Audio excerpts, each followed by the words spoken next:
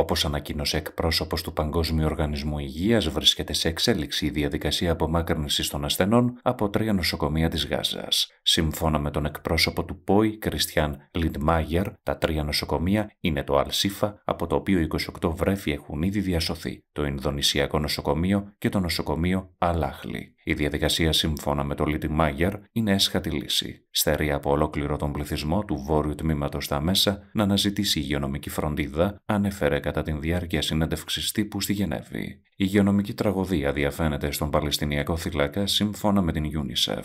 Την ίδια ώρα, η UNICEF προειδοποίησε ότι στη λωρίδα της Γάζας διαφαίνεται μια πραγματική υγειονομική τραγωδία εξαιτίας της έλλειψης καυσίμων και νερού. Αν δεν υπάρχουν αρκετά καύσιμα, θα παρακολουθήσουμε την κατάρρευση των υπηρεσιών αποχέτευσης, δήλωσε ο James Endler, εκπρόσωπος της UNICEF, στη διάρκεια συνέντευξης τύπου μέσω βιντεοσύνδεσης από το Κάιρο. Ο ίδιος έκανε λόγο για πραγματική τραγωδία ή τέλεια καταιγίδα που προκαλείται από την εμφάνιση ασθενειών. Έχουμε τραγική έλλειψη σε νερό. Δρόμοι σε πυκνοκατοικημένες περιοχές είναι στρωμένοι με περιτώματα. Υπάρχει απαράδεκτη έλλειψη σε τουαλέτες πρόσθεσε. Ο εκπρόσωπος της UNICEF υπογράμμισε επίσης ότι είναι πολύ δύσκολο οι κάτοικοι της Λωρίδας της Γάζας να έχουν προσωπική υγιεινή ή ακόμη απλώς να πλύνουν τα χέρια τους. Αν η πρόσβαση των παιδιών σε νερό και εγκαταστάσεις υγιεινής στην Γάζα παραμείνει περιορισμένη και ανεπαρκής, θα δούμε μια τραγική αύξηση του αριθμού των θανάτων παιδιών, τόνισε ο Έρντλερ.